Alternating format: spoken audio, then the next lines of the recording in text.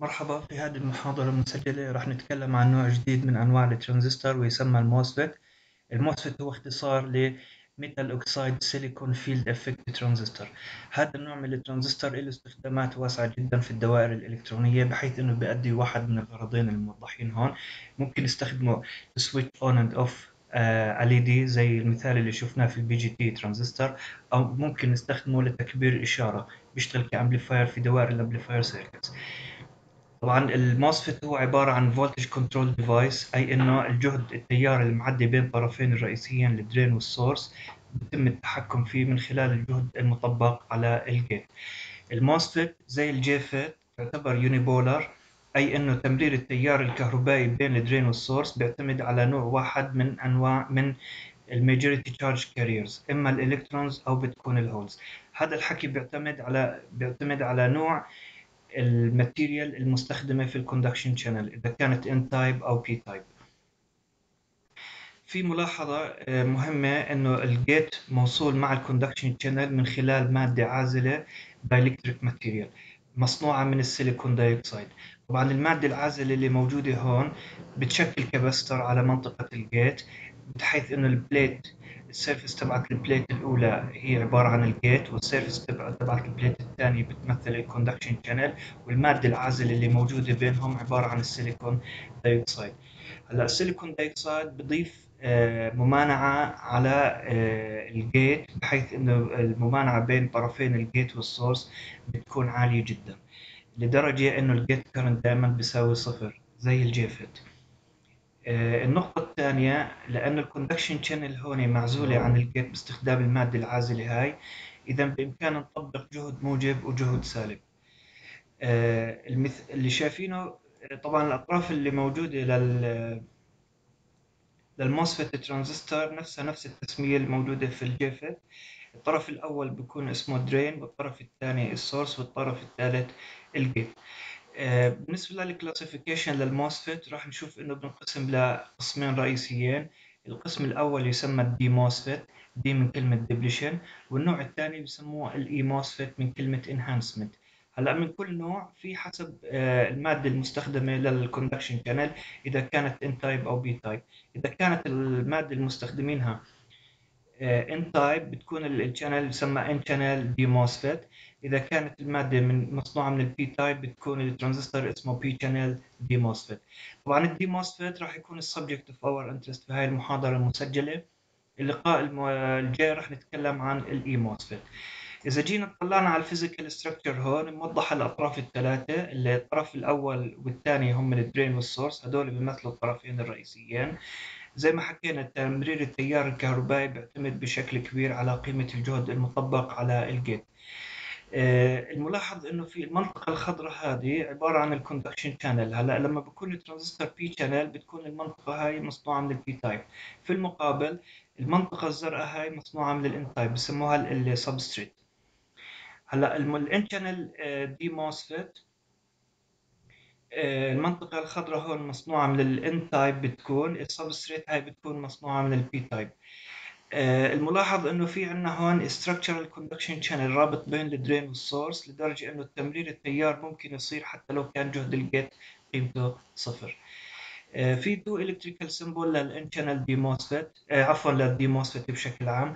النوع طبعا النوع الأول بسموه ال N channel D-MOSFET السهم بكون فايت على لجوا زي ما إحنا شايفين. الأطراف الثلاثة موضحة لل drain وال gate وال source إذا كان السهم لبرا بكون نوع الترانزستور P channel D-MOSFET حكينا سابقا لأنه ال gate معزول عن ال conduction channel باستخدام dielectric material هي عبارة عن ال silicon dioxide اذا هيك ال conduction channel بتكون محمية. فعشان بترتب على هذا الحكي إنه بامكاننا نطبق جهد موجب أو جهد سالب على ال gate سواء كان N type أو P type فيش أي مشكلة. اللي فعشان هيك في عندنا two operation mode ال operation mode الأولى تسمى ال depletion mode طبعا إذا كان جهد ال gate سالب وال operation ال mode الثانية تسمى ال enhancement mode إذا كان جهد ال gate موجب. آه، إذا بدنا نشغل الترانزستور في وضعية تسمى ال depletion mode زي ما إحنا شايفين هون بدنا نستعين في الدائرة الكهربائية هاي. هذه الدائرة الكهربائية فيها two loops ال loop الأولى هي عبارة عن ال gate موجود على ال gate source circuitry العنصر الوحيد اللي موجود فيها مصدر التغذية. طبعا القطب السالب لمصدر التغذية مربوط بشكل مباشر مع ال gate والقطب الموجب مربوط بشكل مباشر مع ال source حكينا سابقا إن الممانعة بين ال gate وال source أعلى بكتير من ال JFET ال D-MOSFET أعلى بكتير من ال JFET لدرجة انه ال gate current بتكون قيمته صفر. فعشان هيك لو حطينا مقاومة هون هاي المقاومة راح يكون ال voltage drop عليها قيمته صفر عشان ال gate current قيمته zero. ال circuitry الثاني تسمى ال drain source circuitry في عليها مصدر تغذية مع current limiting resistor بسموه ال RD حتى نحدد أو نخفف من قيمة ال drain current الوضعية هاي تسمى ال depletion mode أي إنه القطب السالب موجود على ال gate طبعا هون لما بزيد الجهد هاي ال VGG عندنا ال gate source ال junction هاي بتكون في وضعية الانحياز عكسي. كل ما بزيد الجهد هون كل ما بتكبر ال depletion region بين ال gate وال source طبعا تأثير زيادة الجهد على ال depletion region موضح في المثال هون. زي ما إحنا شايفين في ثلاث قيم مختلفة للجهد. المرة الأولى لما كان الجهد قيمته zero voltage ال structural conduction channel بين طرفين ال drain وال source already موجودة. فهيك راح يمرر تيار قيمته عالية بسموه ال maximum drain current الملاحظة هون إنه ال D-MOS ال N channel D-MOSFET خصائصه في ال depletion mode نفسها نفس الخصائص اللي درسناها سابقا. بال N channel JFET طبعا ال width تبعت ال conduction channel effectively هون كبيرة. لما بتكون كبيرة الممانعة بين ال drain وال source بتكون قليلة لدرجة إنه راح يمرر أعلى تيار بسموه ال maximum drain current هلأ لما بنخفض الجهد لسالب واحد فولت ال gate source voltage صارت قيمته سالب واحد. اللي بيصير إنه القطب السالب اللي موجود على ال gate terminal راح يبعد الإلكترونات عن ال surface تبعت ال conduction channel هون. وفي نفس الوقت راح يجذب ال holes اللي موجودة على شكل majority charge carriers في ال P type substrate هون. اللي في المحصلة إن ال concentration للإلكترون في ال conduction channel راح يقل. فإذا قل ال width تبعت ال conduction channel راح تقل. إذا قلت ال width تزيد الممانعة بين ال drain وال source التيار اللي راح يعدي في هذه الحالة أقل من ال maximum drain current المرة الثالثة لما خفضنا الجهد حطينا سالب 2 فولت. طبعا القطب السالب اللي موجود هون أبعد إلكترونات بشكل كبير كتير لدرجة إن ال concentration تبعهم في ال conduction channel قل كتير. لما بقل ال concentration لل electrons في ال conduction channel ال conduction عفوا ال width تبع ال conduction channel راح يقل. إذا قل ال width الممانعة بين طرفين ال drain وال source راح تزيد بشكل كبير لدرجة إنه ال drain current راح يقل. طبعا في الثلاث حالات أعلى تيار عندنا لما بكون الجهد قيمته صفر وأقل تيار لما بكون الجهد قيمته أقل شيء سالب 2 زي ما إحنا ملاحظين هون حسب ال sequence of events بنشوف إنه كيف الجهد تبع ال gate بيأثر على ال width تبعت ال conduction channel ال width راح تأثر بشكل مباشر مباشر على آه، الممانعة بين طرفين ال drain وال source الممانعة راح تأثر بعدين في آخر شيء على التيار. الملاحظة أنه العلاقة بين الممانعة وال drain current دائما علاقة عكسية. المثال الثاني هون إنه بدنا إذا جينا نشغل ال N-channel D-MOSFET في وضعية تسمى ال enhancement mode اللي بكل بساطة بدنا نخلي نفس نستعين بنفس الدائرة اللي شفناها سابقا بس مصدر التغذية بدنا نعمل reverse لل polarity على مصدر التغذية هون. زي ما إحنا ملاحظين القطب الموجب مربوط بشكل مباشر على طرف ال gate هلأ زيادة الجهد هون راح تؤدي لزيادة الجهد على طرفين ال gate وال source زيادة الجهد راح نشوفها موضحة في الأمثلة هون. أول مرة لما كان الجهد قيمته صفر ال structural conduction channel already موجودة لدرجة إنه الممانعة بين ال drain وال source راح تكون قليلة. عشان هيك التيار راح يكون maximum drain current المرة الثانية لما رفعنا الجهد لواحد فولت طبعا القطب الموجب المتكون على طرف ال gate راح يجذب آه، الكترونات على ال conduction channel طبعا لما بزيد ال concentration تبعت الإلكترون في ال conduction channel هون راح ال width تبعها راح يزيد معنا. لما بزيد ال width الممانعة بين طرفين ال drain وال source راح تقل. إذا قلت الممانعة تيار ال drain راح يكون أعلى من ال maximum drain current المرة الثالثة لما رفعنا الجهد ل 2 فولت طبعا القطب الموجب هون راح يجذب كم كبير من الإلكترونات. طبعا ال electrons effectively بتكون موجودة as minority charge carriers في ال P-type substrate هون فال concentration تبعها راح يكون هون كبير كتير لدرجة إنه ال width تبعت ال conduction channel راح تعرض راح تصير very wide طبعا هون في المقابل الممانعة بين طرفين ال drain وال source راح تقل لدرجة إنه التيار في الثلاث حالات هون بكون أعلى شيء بينما هون بكون أقل إشي. هون بتكون قيمته ال maximum drain current التيار هون وهون هدول قيمهم أعلى من ال maximum drain current هلأ بدنا نشوف العلاقة بين ال output characteristic curve وال transfer characteristic curve زي ما إحنا ملاحظين ال output characteristic curve الرسمات اللي موجودة هون في الربع الأول بتوضح العلاقة بين ال drain current وال drain source voltage الملاحظ إنه ال output characteristic curve لل N-channel D-MOSFET نفسها نفس ال characteristic اللي شفناهم لل N-channel JFET في عنا قيم مختلفة لجهد ال gate source voltage المرة الأولى مثلا لما بكون الجهد قيمته سالب 3 فولت طبعا هذا راح يؤدي يخلي ال width تبعت ال conduction channel قليلة جدا بحيث إنه الممانعة بين طرفين ال drain وال source بتكون عالية. فالتيارات اللي راح تعدي عند في قيم جهود سالبة بتكون دائما أقل من ال maximum drain current اللي قيمته 8 ملي أمب. الملاحظة هون إنه لما حطينا ال gate source voltage سالب 2 فولت وزدنا الجهد تبع ال VDD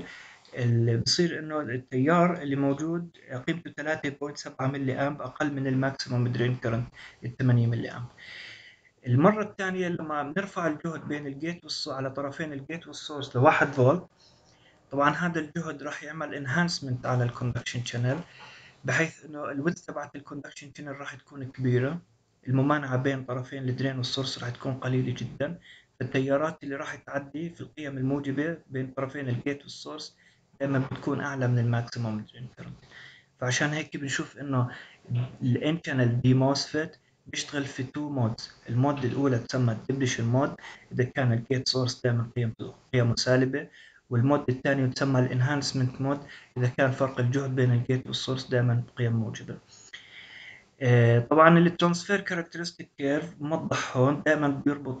بين ال drain current وال gate source voltage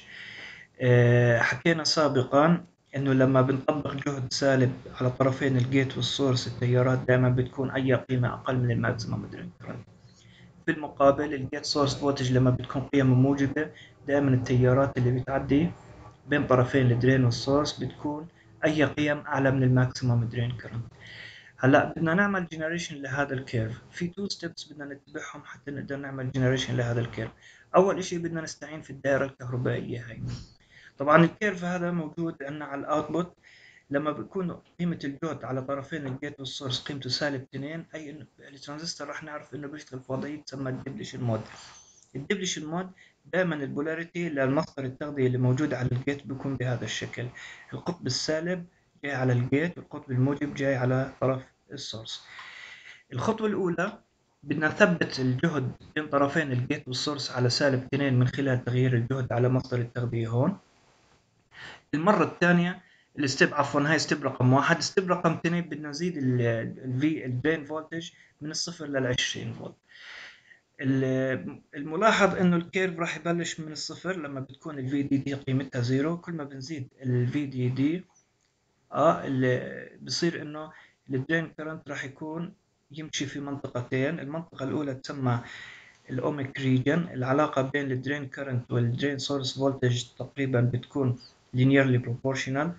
زي ما إحنا شايفينها هون. هلأ لما بعد ال pinch off voltage بصير بدخل الترانزستور في operation mode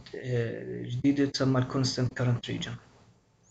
فالملاحظة هون إنه التيار أعلى تيار بيسمح للترانزستور في تمريره هو عبارة عن IDQ واحد بتساوي 3.7 ملي امبير قيمة التيار اللي موجود هون أقل من ال maximum drain current هذه وضعية تسمى ال depletion mode هلأ إذا جينا نشوف الخطوات اللي بدنا نتبعها حتى نقدر نعمل generation لل top green curve اللي موجود هون. أول خطوة آه لازم الدائرة هيك يكون شكلها. بدنا نعكس ال polarity لمصدر التغذية اللي موجود على ال gate بحيث إنه القطب الموجب مربوط مع ال gate والقطب السالب مربوط بشكل مباشر مع ال source. طبعا الجهد اللي موجود هون بدنا نحط قيمته 1 فولت زي ما إحنا شايفين على الرسمة. والمرة الثانية آه هذه step رقم واحد step رقم اثنين. آه بدنا نزيد في ال drain voltage هون من الصفر لل 20 فولت. طبعا زيادة الجهد راح تؤدي لأنه ال curve راح يبلش من الصفر يمشي في منطقة ال constant current region عفوا يمشي في منطقة ال ohmic region بعدين يعمل full transition على ال constant current region في ال ohmic region زيها زي ال ohmic region اللي درسناها في ال JFET بتكون العلاقة بين ال drain current وال VDS تقريبا linearly proportional أي إن الممانعه بين طرفين ال drain وال source بتكون constant بينما في ال constant current region دائما بتكون الجهد بين ال drain وال source قيم أعلى من ال pinch off voltage اللي بصير إنه الممانعه بين طرفين ال drain وال source راح تضل راح تزيد معنا مع زيادة ال VDD طبعا الممانعه هون إذا زادت راح تعمل راح تعمل اوفست على ال rise of ال drain current بحيث إنه ال drain current راح يضل معنا constant ثابت. زي ما إحنا شايفينه هون. طبعا هذه الوضعية تسمى enhancement mode أي إنه ال gate source voltage بعيد وبحكي قيمته موجبة عشان هيك التيار اللي راح يعدي قيمته أعلى من ال maximum drain current هذه التيارات IDQ 2 و IDQ 1 بكونوا جايات في ضمن ال permissible values اللي الترانزستور بيقدر يتحملهم. بكونوا أقل من ال rated values